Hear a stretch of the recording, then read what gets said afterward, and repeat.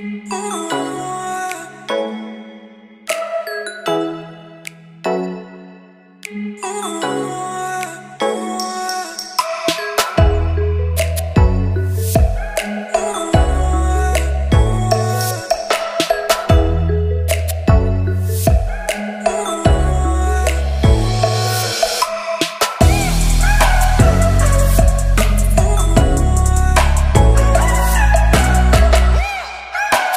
दोस्तों, यहाँ पर एम आई ए थ्री के अंदर देखने को मिल जाता है जून अपडेट जो कि पिक्सल एक्सपीरियंस रोम के अंदर काफ़ी बढ़िया रोम है। और इस बार तो स्टेबल हो चुका है, क्योंकि इसके अंदर जो जो फेस ऑन लग में इशू आ रहा था, अब वो फिक्स हो चुका है। काफ़ी बढ़िया है, मैं आपको यहाँ पे दिखा देता हूँ। सबसे पहले हम चले जाते हैं अबाउट फ़ोन में, और यहाँ पर जो है देखने को मिल जाता है एंड्रॉयड टेन वर्सन और यहाँ पे फिफ्थ जून 2020 तो ये जो अपडेट है, ये आपको 10 तारीख को ही मिल गया था, यानी कि 10 जून को हमें देखने को मिल गया था ये नया बिल्ड तो यहाँ पे आप देख पा रहे होंगे। ये फीचर्स जो है टेन टेन को वेडनेसडे जून टेन को यहाँ पे देखने को मिल गया था। आप लोगों के लिए काफ़ी बढ़िया गुड न्यूज़ है।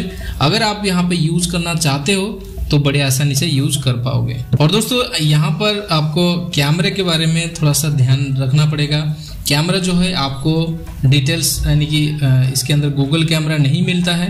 आपको अलग से कैमरा इंस्टॉल करना पड़ेगा और साथ ही साथ आपको और भी जो भी जितने सारे एप्लीकेशन आपको देख के यूज़ करना पड़ेगा। ये मिनिमल है, ये स्टॉक एंड्रॉइड जैसा आपको जैसे गूगल पिक्सल के अंदर जो भी एप्लीकेशन रन होता है, सब इसी के अंदर रन होता है। बाकी यहाँ पर कुछ एक्स्ट्रा देखने को नहीं मिलता, बट पहले से अच्छा ये हो गया है। मैं बस इसके अंदर एक जस्ट मैं जस्ट इसके अंदर एक कोई रिव्यू लेके आया हूँ, कोई स्पेशल डेडिकेटेड वीडियो नहीं है। बस बताने वाला हूँ कि इसके अंदर फिक्स हो चुका है। जो भी डिटेल्स पहले वर्क नहीं करते हैं।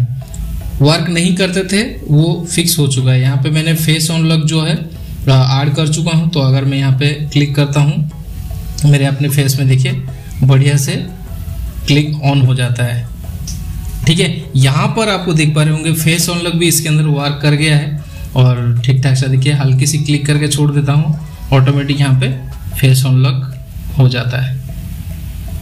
जैसे आप लॉक स्क्रीन के अंदर जाओगे, काफ़ी बढ़िया रहेगा। ये फीचर्स जो है, आपको ठीक ठाक सा लगेगा। आपको, अगर आपको स्टॉक एंड्रॉइड में बोर हो गए हो तो साथ ही साथ ये पिक्सल एक्सपीरियंस रूम भी आप यूज़ कर सकते हो।